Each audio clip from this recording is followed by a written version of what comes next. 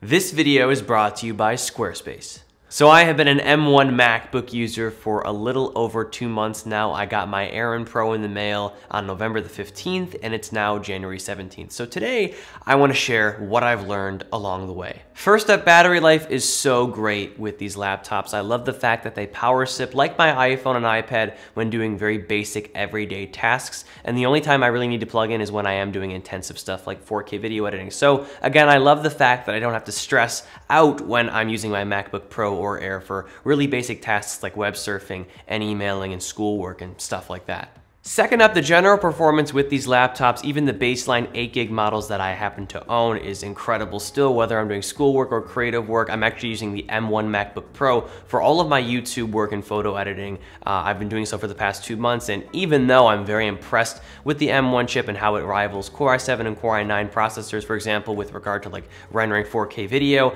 it still isn't a perfect chip uh, for one reason, I think, and that is due to its lack of like dedicated graphics or like really good integrated graphics. There's only so much Apple can do, and I am missing the Vega 48 graphics that I used to use in my iMac 5K, which I'm actually working on selling right now. Uh, but yeah, that translates to a not so perfect Final Cut Pro editing experience, and I would imagine this would also result in you know some hiccups here and there and other uh, Apple Silicon supported creative apps that involve a lot of CPU and GPU rendering.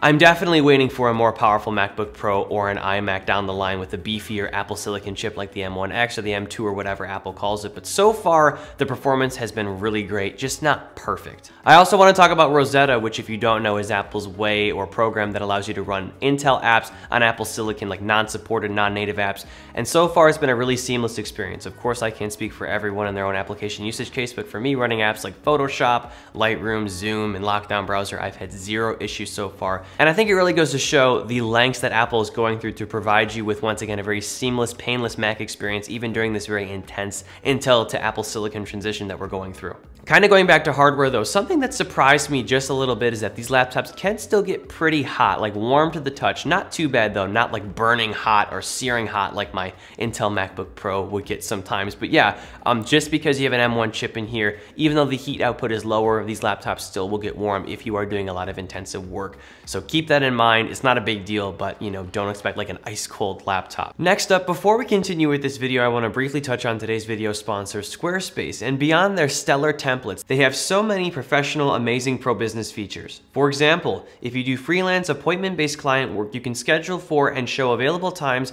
to your clients, eliminating annoying calendar coordination work.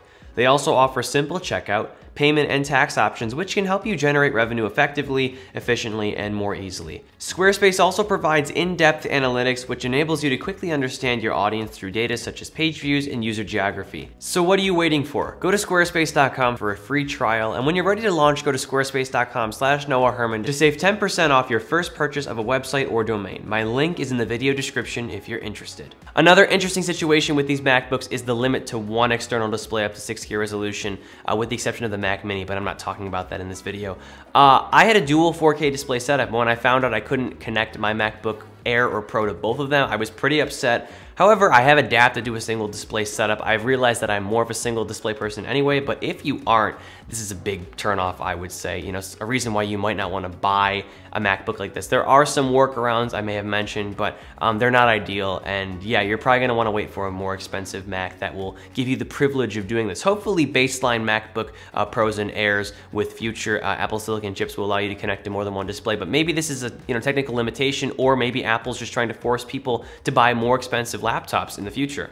And finally, I want to talk about the MacBook Air and Pro variants separately and how I've used them and what I've learned from using them. First and foremost, the MacBook Air is my college laptop of choice. I like having a separate laptop for school and work. Of course, I have the ability to do that. Don't do that if you don't need to. But yeah, the Air is a laptop I can recommend to anyone. Even the baseline one, you don't need an 8-core GPU to type up great college papers and to go on Zoom. It's been more than enough for me. It's overkill, really. Um, I love the fact that the chassis is more slanted. It makes typing a lot better. I like that there's no touch bar that's distracting and annoying. I like being able to just turn up and down my volume without, you know, sliding and doing all that stuff. I hope Apple gets rid of the touch bar, to be honest. It's just a waste of money and a waste of space.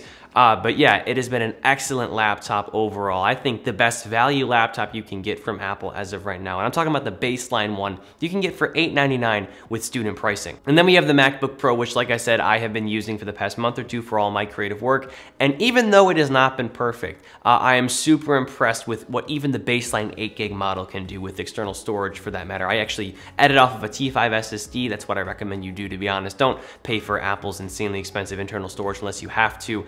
Uh, yeah, I have done everything with this laptop uh, over the course of my Christmas break as well, and I'm incredibly impressed, and I am very excited to see what Apple's you know higher end laptops have to offer, because if this thing is this good, I can only imagine what an M1X equipped MacBook Pro or iMac or Mac Pro is gonna be like in the future. So I highly recommend it, even now, if you wanna do some creative work, especially if you're considering selling your Intel MacBook Pro or iMac while it's still worth something. That's exactly what I plan on doing with my iMac 5K. Even though it is better in a few ways, at least with video playback, uh, I'd rather get my 2000 plus dollars out of it now rather than cut that value in half when a new, you know, nearly bezel-less in comparison to the previous model iMac um, comes out. So definitely worth investing into one of these. They're gonna be worth something for a while and uh, yeah, that about wraps up this video here. I hope it was helpful. Once again, check out my link in the video description to Squarespace. I'd appreciate it if you leave a like on this video, comment if you have any questions, suggestions, or opinions, and of course, subscribe for more content like this. And as always, I'm Noah, and I will catch you all